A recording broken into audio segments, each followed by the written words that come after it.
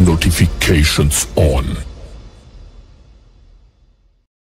Cash. All my cars have got cash. Kachelete yakha. You understand? Mfana opitori kwa. Mfana opitori. Komashanyeni. You understand? Mfana ozokuba komashanyeni opitori. Komamiloli. Komashanyeni. You understand? So, lona lintsimo lintsimo lintsimo ha linyaka uyirasipa linyaka ubereka linyaka unabiyala waya waya and so forth guys ngiyake ngiphuze ngiyake ngiphuze utshwala forever ningaphuzi utshwala forever ngizophuza utshwala ufika nini? Until ufe. No man guys come on stand, stand up guys. Ah wake up. Wake up guys. You can't do that to yourself. Yeah? Now, let me tell you something about South Africans. That's one thing for sure that I know about them. South Africans, uh, I would say out of 70%, out of 70%, okay, let me just say 100%. Out of 100%, 75% of South Africans are generally lazy.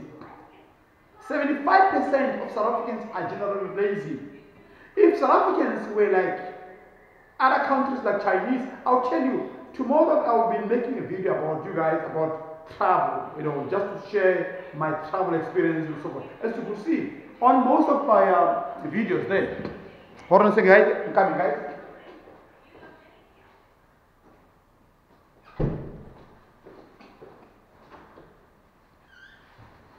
Right. On most of my videos, guys, sorry guys.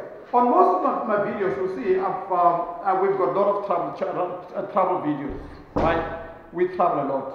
I'll share my experience tomorrow and tell you guys, you know, how we travel, how you can get, you know, a flight ticket cheaper, how you, how you can get a cruise ship ticket cheaper and so forth. But it's a topic for another day.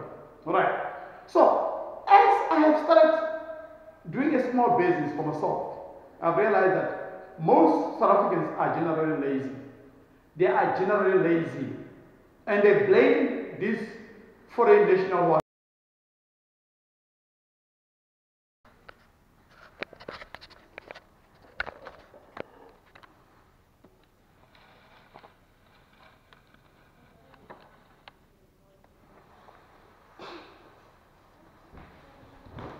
Alright.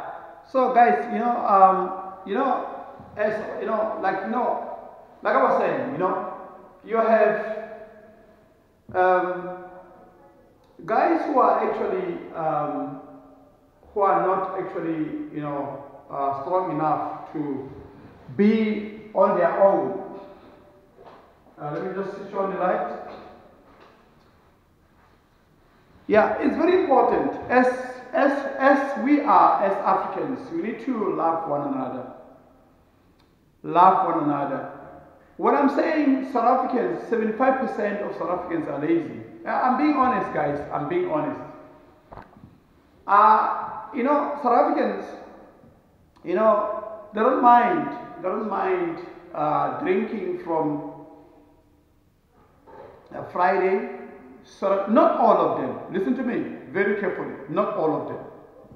They don't mind drinking from Saturday, Sunday, and Monday. They don't mind. That's, that's how South Africans are. And now, you ask yourself, you cry about brothers who are actually, while you are drinking, the brothers are busy hustling. Friday, Saturday, and Sunday is the day when there's a lot of money to be made. Guys who are selling tomatoes out there, guys who are selling, they've got, banekezitalikisi man. Banemasitalekisi basebenza kune bathengisa izinto yazi izinto yazi ama-cabbage ama-onions ama-potatoes and stuff like that. Mara nina as south africans you can't do that. You can't do that. Nithi hayi oh they are going to see it they are going to laugh at me. Hey listen to me. Yeah guys you know i think i like yeah guys you know i think i like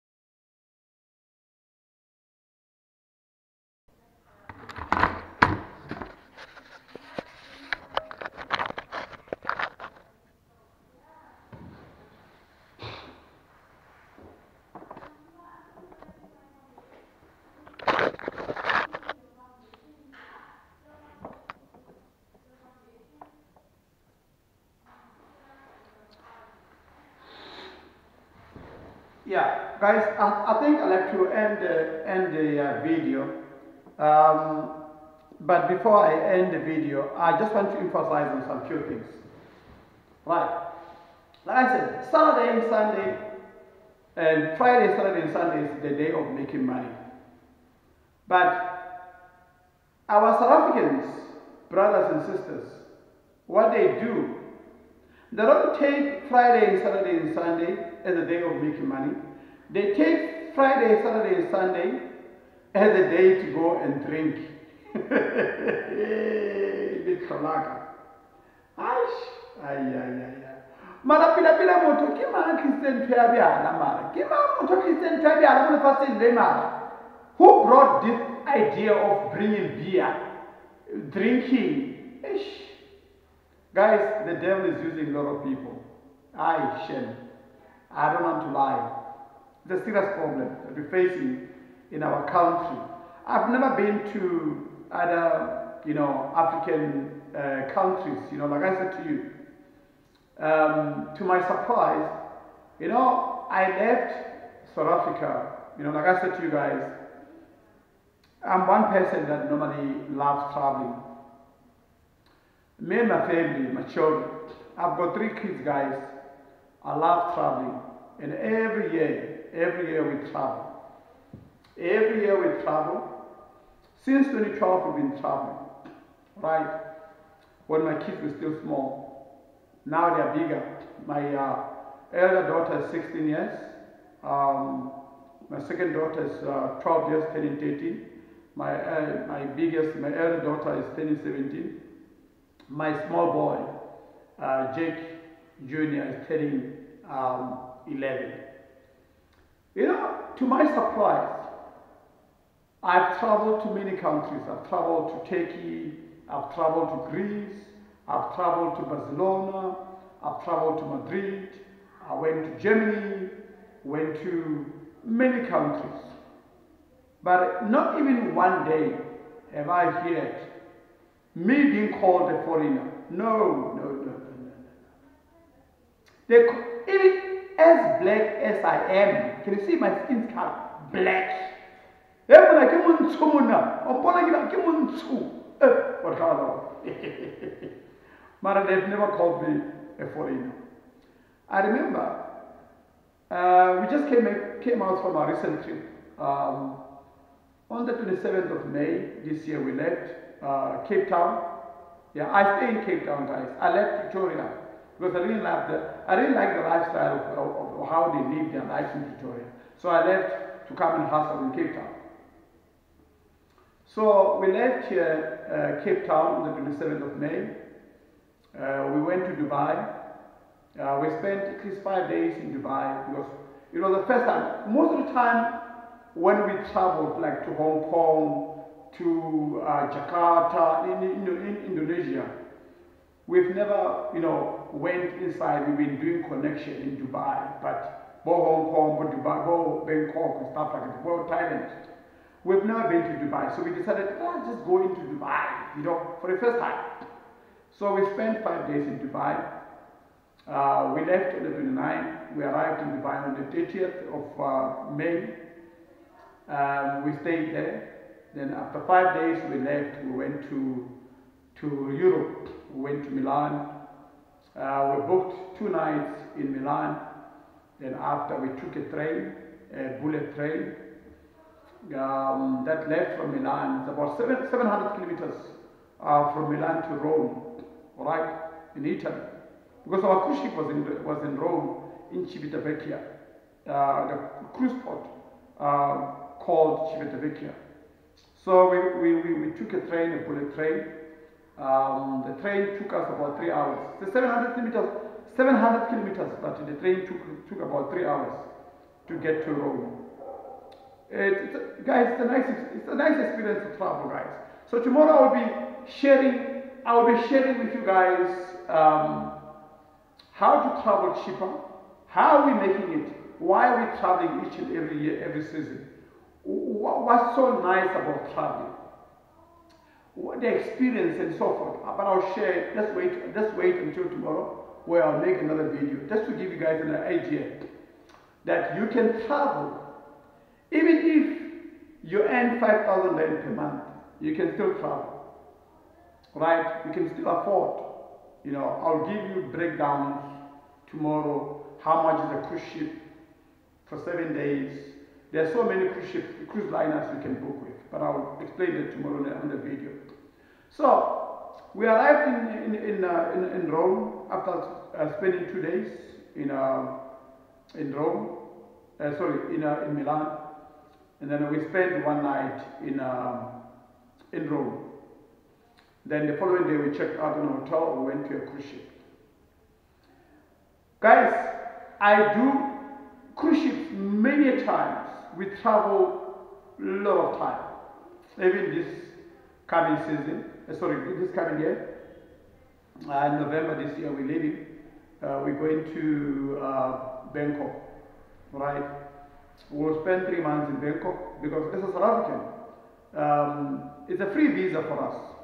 I'll also explain to, to, to guys, tomorrow guys about the countries you can fly to, you can travel to, you know, countries like, just to give you a hint, countries like Brazil, they give you about six months, 180 days.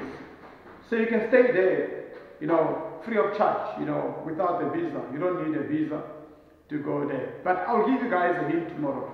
Right. So as a South African, we all have South African passports. We are able to, you know, so we'll travel to Bangkok and then um, we'll stay there for three months.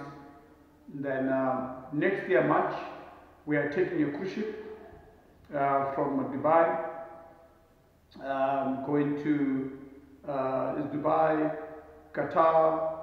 Um, it, will, it will take us to Qatar, Abu Dhabi, um, Malta, Egypt.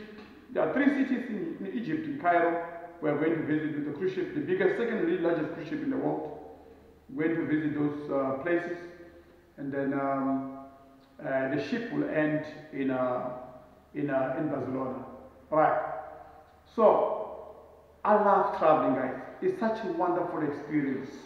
But I'll share with you guys on how you can do this as a South African, not as a foreigner. Don't think when you see people who are flying, people who are actually going on a cruise ship and stuff like that, you think these are, they've got millions, they've got billions of money. Ah, no, those people don't have money, man. You know, you know, they, they, they, they, they, they know how to plan, but I'll teach you guys tomorrow how to plan. Even if you earn 5,000 rand, it's easy, you know. If you want me, if you want me to help you, you know, you can just comment down below on this video, then I will you know, be able to contact you, then we can talk. All right, understand? Yeah. So, guys, like I said to you, South Africans, I don't know what, the, what is the problem about us. We have a big problem. The first problem that we need to, to get rid of, we must stop treating each other unfairly as Africans. Stop treating each other unfairly, guys. It's not right. Stop treating each other like animals.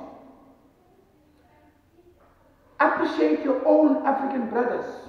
Now, when I was in Italy, they never called me a foreigner. They called me a tourist.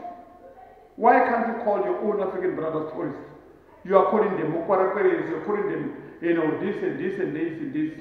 Guys, those guys are here to hustle. You can learn from them. What they are doing, you can also do it. What's wrong with you? Why can't you want to learn?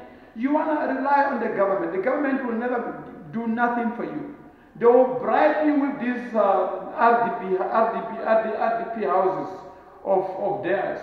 And they will put you together in one, one room and you will be together in that one room together as a, as a family. Is it nice? Is it nice, guys?